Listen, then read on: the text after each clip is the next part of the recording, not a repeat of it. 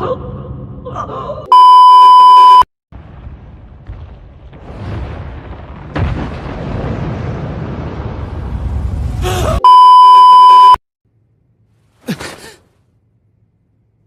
も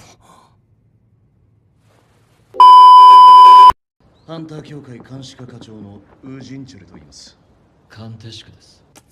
監視ソン・チオルハンターは片腕を失ったため引退を余儀なくされるかもしれませんし。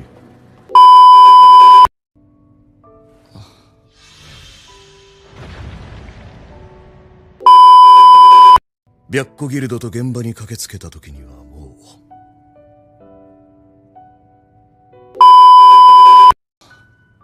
生存者たちの証言が少しでも食い違っていたり犠牲者の遺体の一部。ソンジヌハンター。あなた覚醒後の覚醒をしたんじゃありませんか？自身の限界を超え A 級や S 級になることも。もしかして俺も？